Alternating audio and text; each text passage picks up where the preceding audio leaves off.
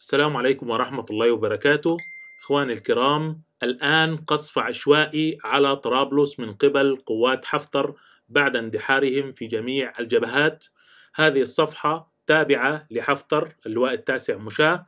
نشرت فيديو لهذه الجريمة قصف عشوائي على بيوت المدنيين في طرابلس. وطبعا هم يقولون على العدو شوفوا هذا الحقد شوفوا محور وادي الربيع عين زارة مدفعية الجراد باللواء 106 تستهدف العدو بنقاط تمركزه.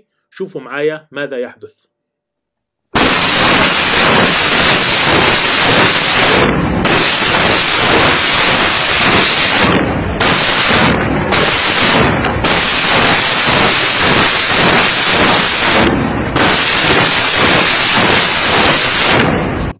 شوفوا يا اخواني القصف العشوائي ومن صفحاتهم. تخيلوا هؤلاء ما عندهم أي مشكلة أن يقوموا بالقصف العشوائي على بيوت المدنيين في هذا التوقيت المتأخر أيضا وليس في النهار مثلا وهذه الصواريخ لا تعرف أين تذهب.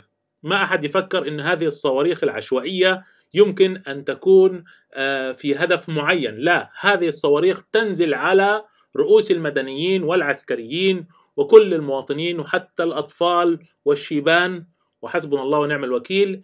المشكلة ليست في إنه فقط هم يقصفون المشكلة أن هؤلاء يوثقون هذه الجرائم على صفحاتهم وهناك من ينخدع بهم. شوفوا كمية الحقد بعد أن هزمت قوات حفتر كمية الحقد على الصفحات غريبة جدا شيء عجيب جدا. يعني أنا لم أتصور أبدا أنه في واحد ممكن يقصف أهله وناسه في طرابلس. يعني عندكم مشكلة مناطقية أنت في الشرق وهو في الغرب بس مش معقول أنا أقصف أهلي وناسي بهذه الطريقة. ال الذي يفعل هذا فقط هو الغرب الذي دمر ليبيا سابقا ودمر سوريا والعراق. هدم المنازل على رؤوس الناس. سياسة الأرض المحروقة. حفتر يقوم بسياسة الأرض المحروقة كما استعملها الغرب في سوريا وفي العراق. واليوم كان عند السيسي لاستجلاب الدعم بعد أن هزم في جميع المحاور. أعتقد هذا الرجل ينوي على تدمير ليبيا وهذه هي المعركة الأخيرة له.